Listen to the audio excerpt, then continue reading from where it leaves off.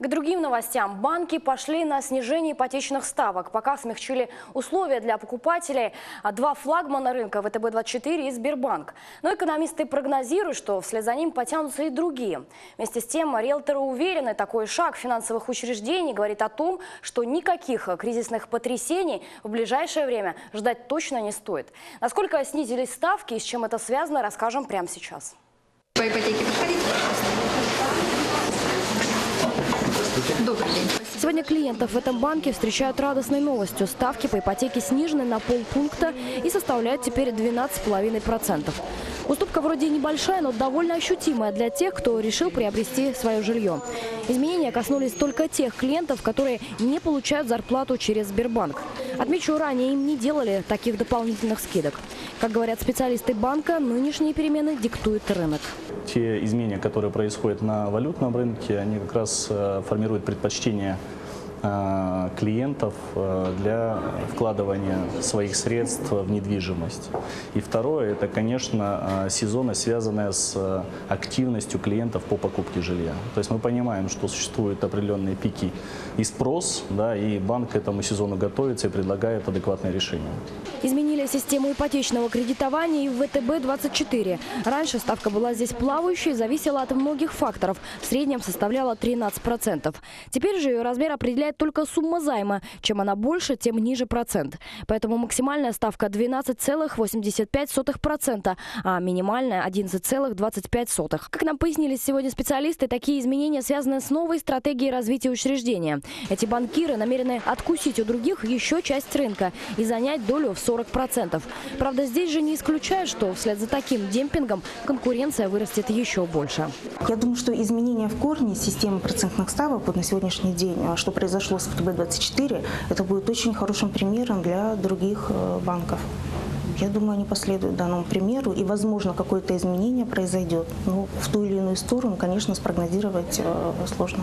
В предвкушении прибыли потирают руки и риэлторы. Они ждут, что снижение ставок позитивно скажется на спросе. При этом руководители крупных компаний уверены, что такое поведение банкиров говорит прежде всего о том, что никаких финансовых потрясений, вопреки слухам, не будет. Как только кризис в 2008 году появился, сразу же ужесточились а, ситуации ситуации по заемщиков и сразу же полезли проценты вверх. Почему? Банки попытались оградить себя ну, от этой ситуации. Здесь идет пока э, при снижении ставок э, требования к заемщикам пока не усиливаются, это означает, что все идут пока на расширение своего бизнеса. Добавлю, в последний раз ипотечные ставки падали в марте прошлого года. Тогда также флагманы рынка уступили клиентам целый пункт. Напомню, в конце января президент Путин вновь потребовал снизить жилищные проценты. По его словам, они должны превышать ставку рефинансирования, которая сейчас составляет 8,25%, максимум на 2-2,5 пункта. Банкиры говорят, пока этого уровня достичь сложно, но они работают над этим. Наталья Истомина, Сергей Кашин, Хафонтова новости. На рынке недвижимости вскоре могут произойти и другие важные изменения. В частности, Минэкономразвитие предлагает снизить а, подоходный налог для тех, кто сдает свое жилье в аренду. И сейчас рядом со мной в студии находится Александр Прудников, который как раз и разбирался в этой теме. Александр, ну вот ты сам-то как считаешь, эта мера вообще нужна?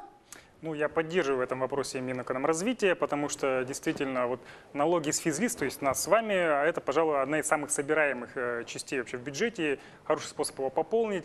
А всем понятно, что большинство у нас людей сдают квартиры в аренду ну, в темную, да, ну, да. скажем так, да, то есть э, никакие документы не оформляют. Поэтому, ну вот одна из мер как-то их так стимулировать, чтобы выходить из тени, это вот снижение налога. Ну что ж, смотрим сюжет.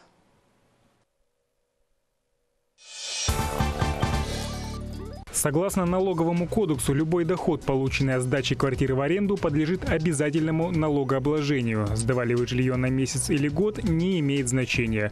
Налог оплатить обязаны. Ставка на доходы физлиц составляет сегодня 13%. Но доказать факт сдачи жилья в наем довольно сложно, поэтому большинство арендодателей предпочитают делать это неофициально. Жильцы объявляются дальними родственниками, и все в порядке. Владелец не платит налог и не включает его в стоимость квартиры, выгодно всем сторонам. Но не государству, которое не получает миллиардов рублей. Чтобы это исправить, Минэкономразвитие предложило ослабить налоговое бремя и снизить ставку до 7-8%. Стимулирует ли это владельцев квартир вывести свой небольшой бизнес из тени – вопрос спорный. Вряд ли эффект будет виден сразу.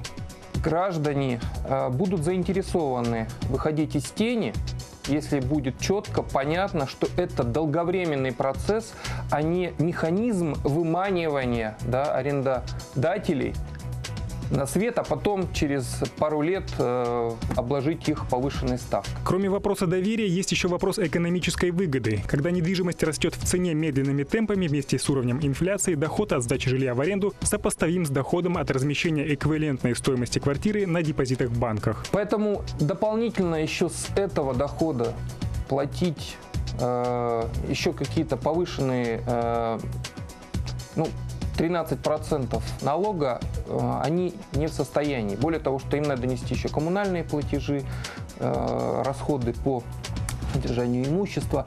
Поэтому на сегодняшний момент граждане не могут себе позволить, вернее, им не выгодно э, платить этот налог, потому что им проще держать деньги на счета в банке получать аналогичный доход. Еще один важный момент – это возможность легко оплатить налоги. Процедура не так уж сложна, но может отнять время. И раз уж человек проявил сознательность и решил честно платить налоги, то ему хотелось бы делать это с комфортом. Раз теряешь деньги, то хотелось бы не терять времени. Может быть, тогда нужно сделать более комфортную и более, как сказать, упрощенную, что ли, э, схему налогообложения. А, условно говоря, там, так, фантазия, как будто как оплата коммунальных платежей. То есть человек, тот, который сдает квартиру в наем, должен совершенно споко... Э, легким способом оплатить э, то бремя налоговое, да, которое на него может возлагаться э, при условии сдачи квартиры. Официально оформленные отношения позволяют получить защиту как нанимателям от недобросовестных арендодателей, так и владельцам квартир от нечестных съемщиков. Но экономическая выгода пока перевешивает потенциальные потери. Одним из решений могло бы, наверное, в том числе послужить как конкуренция а, наймодателям, это создание и строительство доходных домов, как есть в Европе. То есть есть владелец доходного дома, у него он сдает квартиры по договору официально и, соответственно, оплачивает налоги. Но это тоже схема, ну, во всяком случае, для Красноярска, я думаю, что это не ближайшая перспектива. Есть доходные дома и в Санкт-Петербурге, и в Москве, но их совсем единицы. В целом, снижение ставки налогов в два раза может и не выведет из тени всех, кто сдает квартиры в аренду, но какую-то часть к легализации своих доходов точно подтолкнет. Осталось теперь дождаться, когда эта инициатива Минэкономразвития будет реализована. За год тарифы на коммунальные услуги в среднем по стране подорожали на 11,6%. Больше всего услуги выросли в Башкирии на 23,6%. Пятерку лидеров замкнули Санкт-Петербург, Калужская, Астраханская и Тверская области. Там рост составил 14-15%. Красноярский край по этому показателю находится примерно в середине рейтинга, на 43-м месте. У нас тарифы выросли на 11,3%. Больше всего повезло жителям Ямало-Ненецкого автономного округа. Там услуги ЖКХ подорожали за год всего лишь на 2,6%. Однако, если учитывать инфляцию, то тарифы выросли в подавляющем большинстве не более чем на 6%. Правда, нам от этих нюансов не легче. Рейтинг регионов составили аналитики компании «Финэкспертиза».